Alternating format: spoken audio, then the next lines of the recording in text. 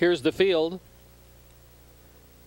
One is Storm Off the Cape, owned by Larry Finn, Trudy Beaver, also owned and trained by Gail Glumac, Dale Hiteman in the sulky. Two is Freemac, owned by John Woodley, also owned and trained by James Woodley, driven by Sam Widger. Three, King Heart has been scratched sick. Four is Brave Art, owned by Phil Jones and Wayne Gelman, trained this evening by Dan Barry. Pat Barry, the driver. Here's five, No Comment, owned by the Claude Gendreau stable, trained by John Boutenshane, driven by Gary Rath. Six is Prayer Warrior, owned by Tom and Sally Amundsen, trained by Eric Plowman, driven by Tim Tetrick. Seven is Kickapoo Cat, owned by Jean Lang Bartels and Judy Schmid, trained by Ben Bryant, Art Gregory Jr. in the sulky. Eight is Parkmaster S, owned by Sheila Elliott and Stan Hatfield. Wayne Elliott trains Jason Dillander, the driver. Nine is Dr. Mindkey, owned by Tim Adams, also owned and trained by Tom Adams, driven by Andy Miller. 10 is Higher Calling, owned by El Lobo LLC, trained by Rick Dane Jr., driven by Ross Leonard.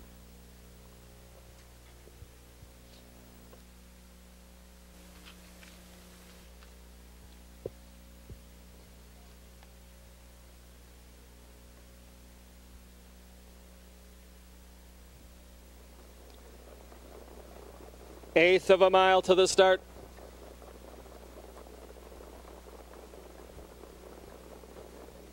Here they come.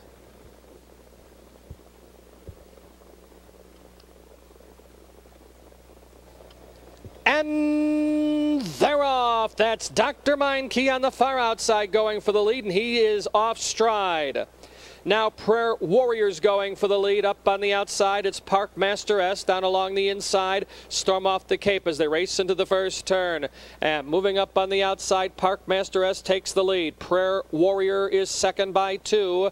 Then it's Storm off the Cape in third by two and a half. Racing fourth is Free Mac, followed in fifth by Brave Art.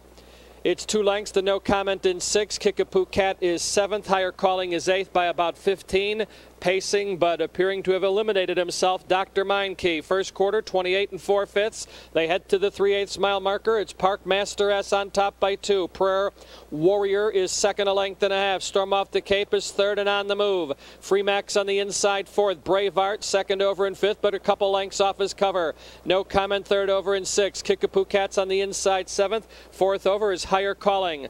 They went by the half and 58 and 3 fifths. 29 and 4 for the second quarter. Up on the outside. Storm off the Cape, puts a nose in front. Digging in along the inside is Park Master S. Prayer Warrior in the pocket, third. Brave Art second over in fourth. No comment, third over in fifth. Locked in six is Free Mac. Higher Callings fourth over in seventh. Then on the inside, Kickapoo Cat. They turn for home. Storm off the Cape has the lead, but he is not cleared. Park Master S on the inside. Brave Art moves three wide, three quarters, 128 flat, 29 and 2 for the third quarter. Storm off the Cape between horses on the outside. Here comes Brave Art. Here comes No Comment on the far outside. Here comes Higher Calling. Now Higher Calling's trying to take the lead. No Comment made a break and a left turn, bothered some horses. It's Higher Calling with the lead. Here comes Kickapoo Cat closing towards the inside. Higher Calling in front. Kickapoo Cat second. Then it was Freemac third. Storm off the Cape fourth in 156 and 1.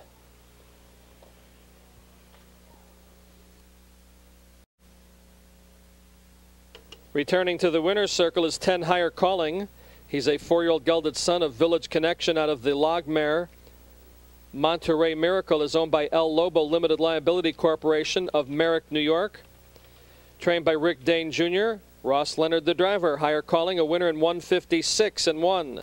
That is a consecutive training double for Rick Dane, a consecutive driving double for Ross Leonard, and for owners from Merrick, New York, a consecutive owning double. The six is official.